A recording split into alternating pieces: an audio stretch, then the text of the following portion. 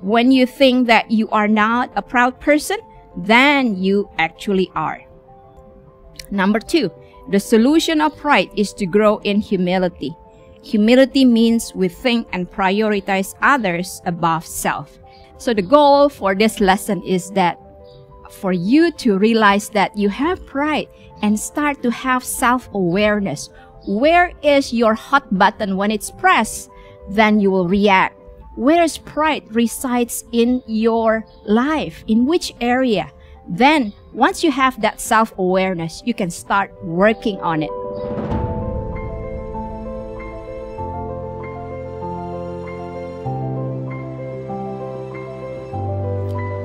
Dear friends, welcome back to part 3 of Into Christlikeness. In the previous lesson, we just completed part 2 where we studied about spiritual discipline. In this part 3, we will talk about growing into Christ's character. And in the next six lessons, we are going to highlight uh, characteristic in us that are sinful that we need to work on, that we need transformation in order to grow to become more like Jesus Christ. In this study, lesson 13, we will talk about pride. And before we begin, let us pray.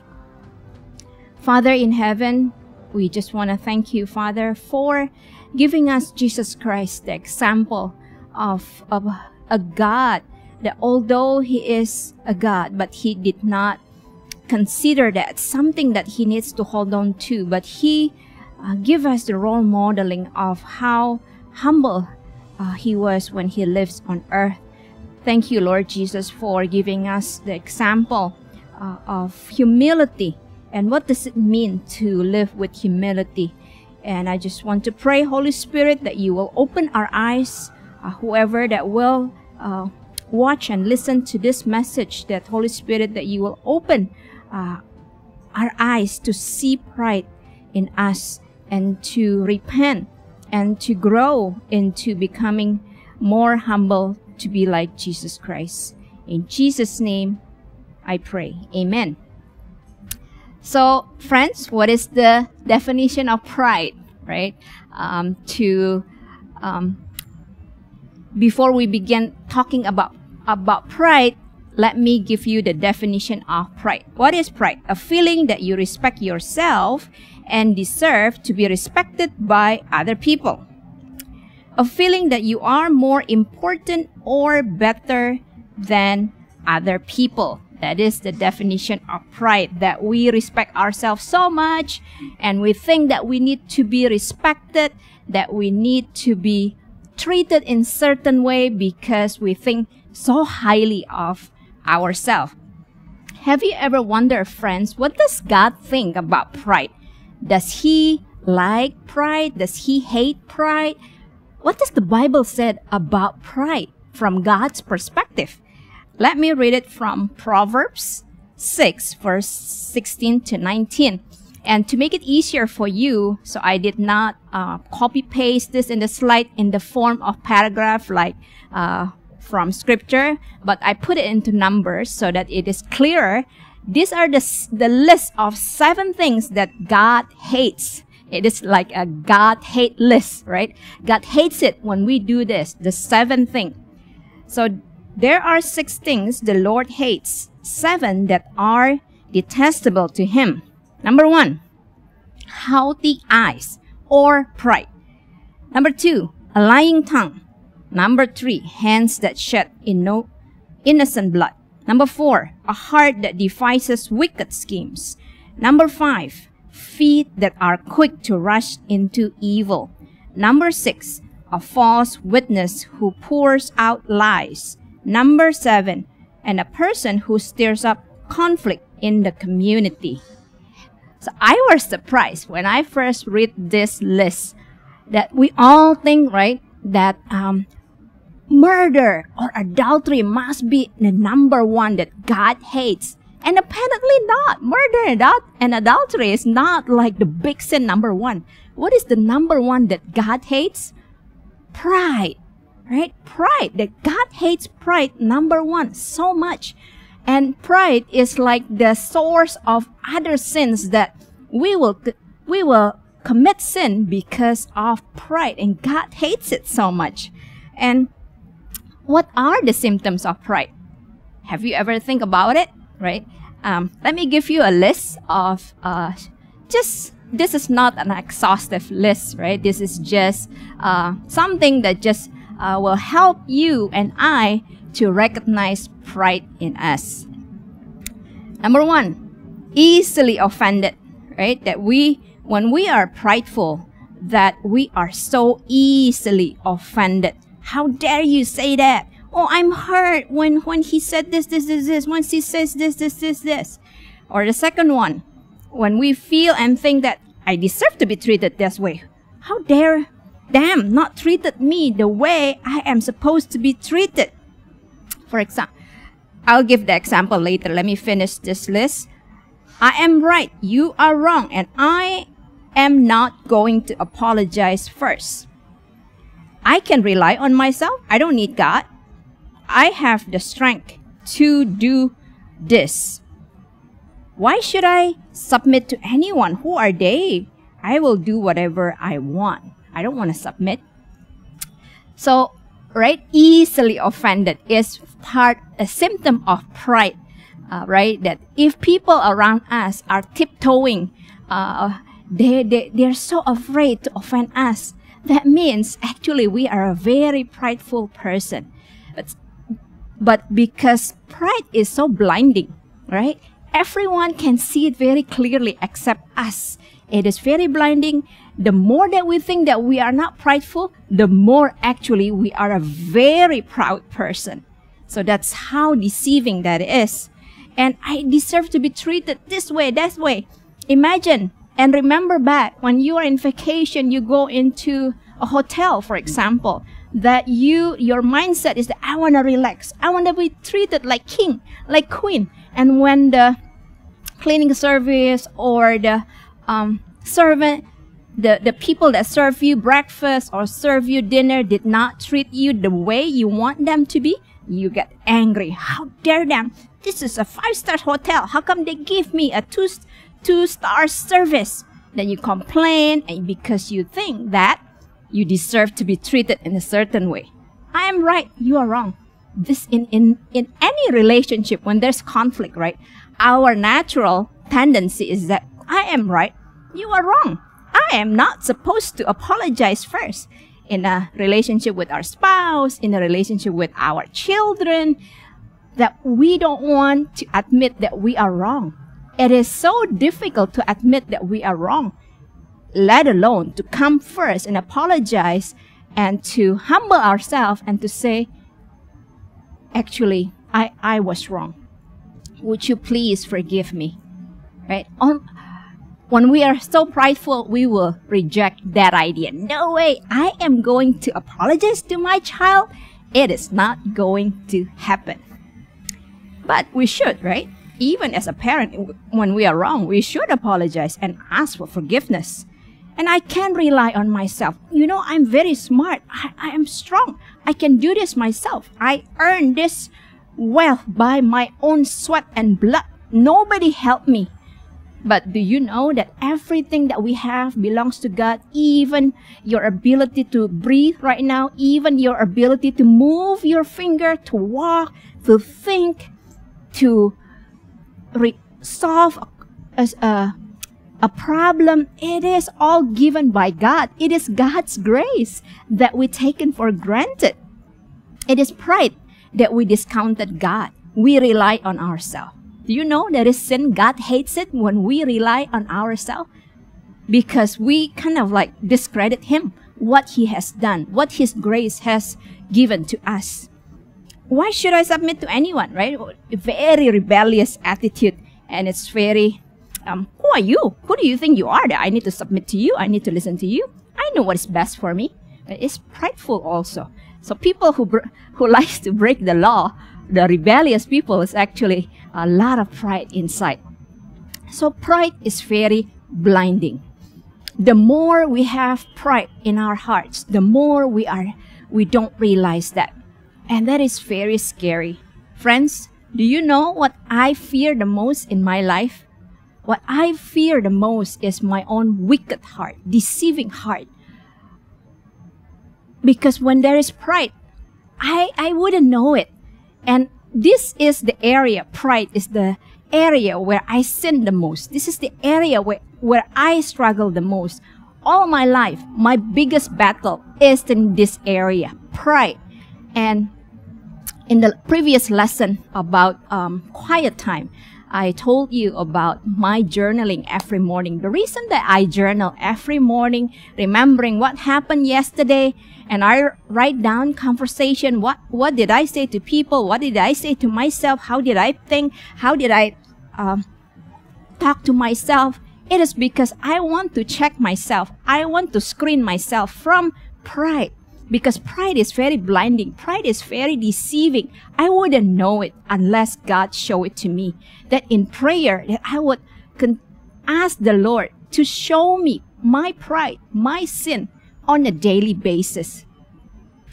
You know, when God revealed to us the area of pride, when our eyes suddenly open and can see that sin of pride, it is God's grace. It is a miracle miracle is not only like healing physical healing your, your limb and then suddenly you can walk you're blind and suddenly you can see.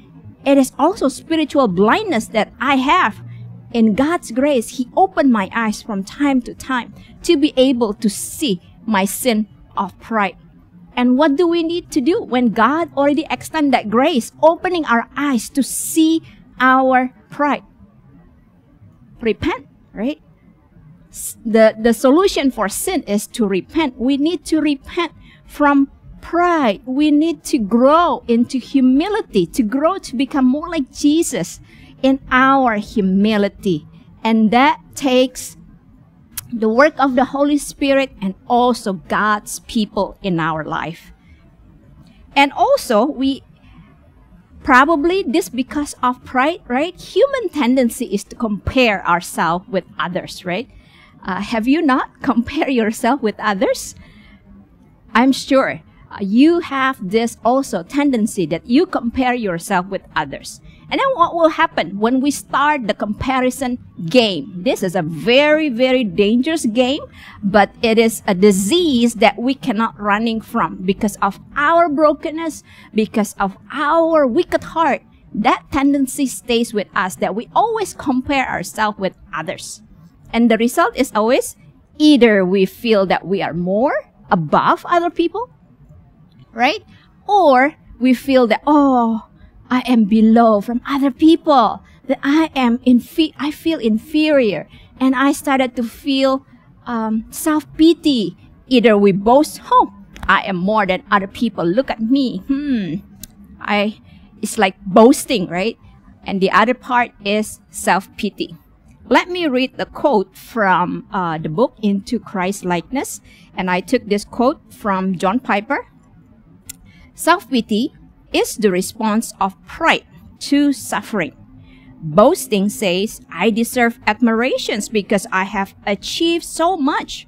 Self pity says, I deserve admiration because I have sacrificed so much. Boasting is the voice of pride in the heart of the strong. Self pity is the voice of pride in the heart of the weak. The reason self pity doesn't look like pride is that it appears to be needy, but the need arises from a wounded ego. And the desire of the self pitying is not really for others to see them as helpless, but heroes. The need self pity feels doesn't come from a sense of unworthiness, but from a sense of unrecognized worthiness. It is the response of unapplauded pride. So self-pity is also a form of pride, right? That you feel self-pity, you feel that your, your, your ego is hurt. Why? Because people do not recognize your worthiness, that you are overlooked um, then you feel hurt. It is also a form of pride. Think about it. Read this um, quote again and then meditate upon it. Is that true?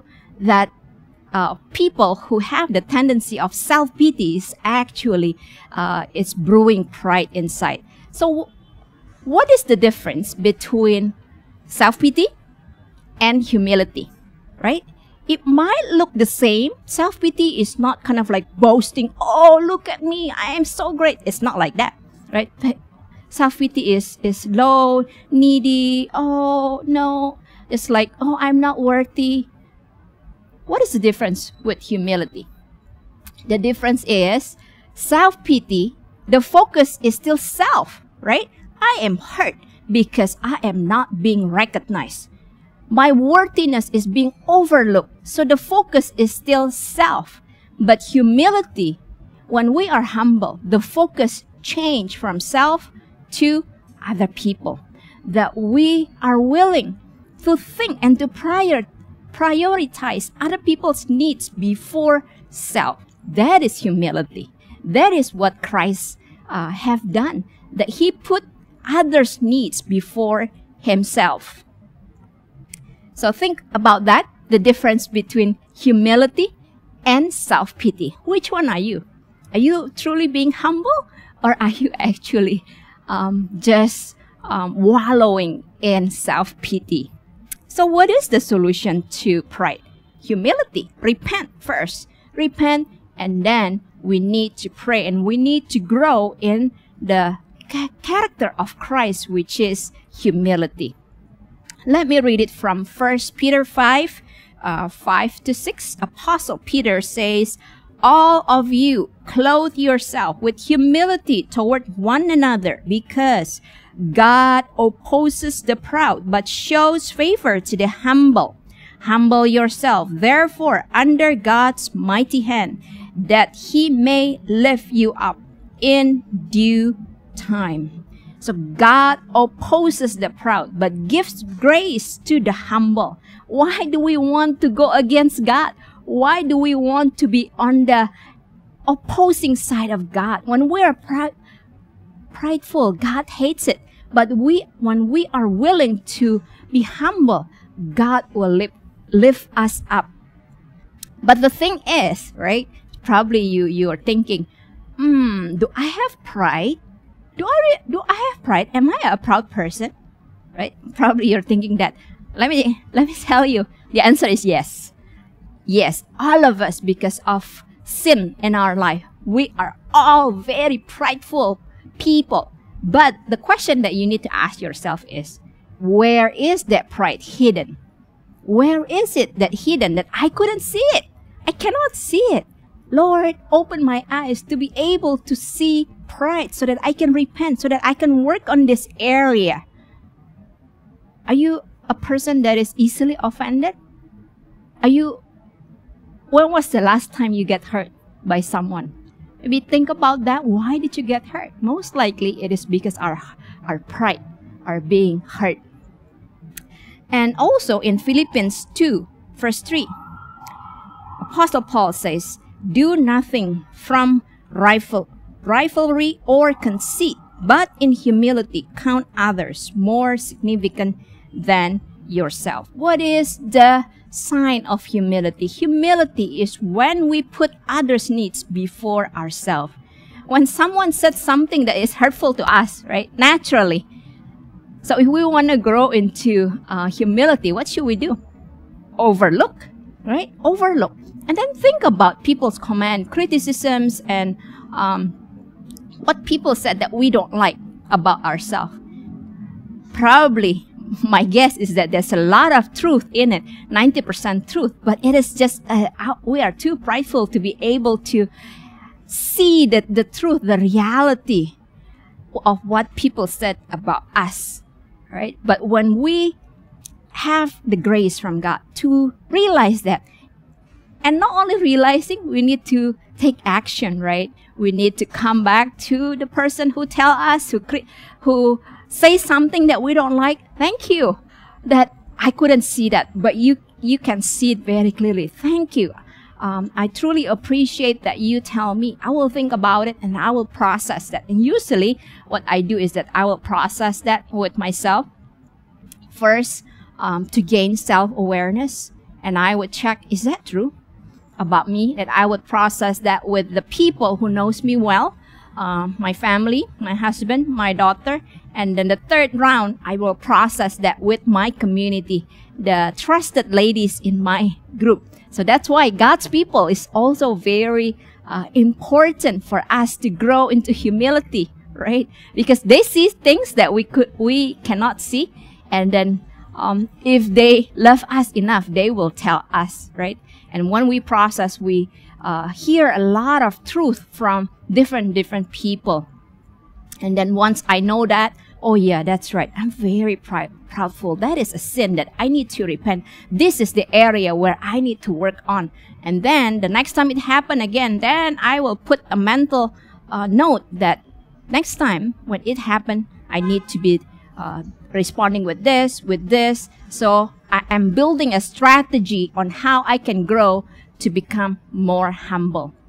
To grow into Christ likeness, it, it doesn't happen automatically. We need to think, we need to work on it, we need to be intentionally planning and strat- strategizing on how we can grow to become more like Christ in humility. So the principle that I would like to share is that uh, number one, pride is blinding. When you think that you are not a proud person, then you actually are. Number two, the solution of pride is to grow in humility. Humility means we think and prioritize others above self. So in this whole study into Christ likeness, that we want to become more like Jesus. And when we have pride and we don't know that, then we cannot grow to become more like Jesus. So the goal for this lesson is that for you to realize that you have pride and start to have self-awareness. Where is your hot button when it's pressed? Then you will react. Where is pride resides in your life? In which area? Then once you have that self-awareness, you can start working on it. Application. Number one, ask yourself this. How and where do you realize pride in yourself? Number two, how does this lesson help you? What is your action plan? If you are courageous, you can ask the closest people in your life, your spouse, your children, or your close friends who knows you for a long time, for a long time and knows you very well. They probably know and probably they maybe they already uh, told you but you never really listen. And if you ask them again um, then probably uh, you can gain more self-awareness more uh, insights into where pride resides in yourself so that you can repent and work on it. And let us pray. Father in heaven um, we are coming before you, wanting to repent of our sin of pride. And you hate pride so much. And we want to grow in our humility, Father. Holy Spirit, please help us to be transformed to become more like Jesus Christ. Father in heaven, we pray that we will not be deceived by pride, that we will not ruin by pride, but you, in your grace, will open our eyes and will help us, Lord, to decrease our pride and to increase our humility to become more like Jesus Christ. In Jesus' name we pray. Amen. So, friends, I hope this lesson about pride uh, is useful and beneficial in your character transformation to become more like Jesus Christ. And I hope to see you in the next lesson.